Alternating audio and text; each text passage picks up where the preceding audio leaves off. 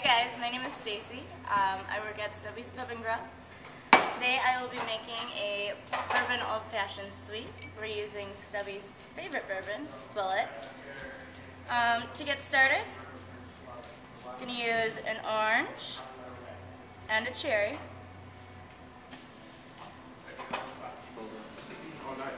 A little simple syrup, splash of water, and some bitters. There's a little walking bridge down here that goes to that park that's like kind of in Arlington, Cape. Okay. Now we're gonna muddle. This is- this is- Yeah, right there. You walk down here. Yeah. Pretty nice actually. It's nice to walk. There, in daylight. It took me 15 minutes. Oh. How about a little ice? That's the, uh, good. Kill you. Alright, now goes the bourbon. Yeah, it does. Top it off with soda. Good. Nice, nice body. Right. Voila.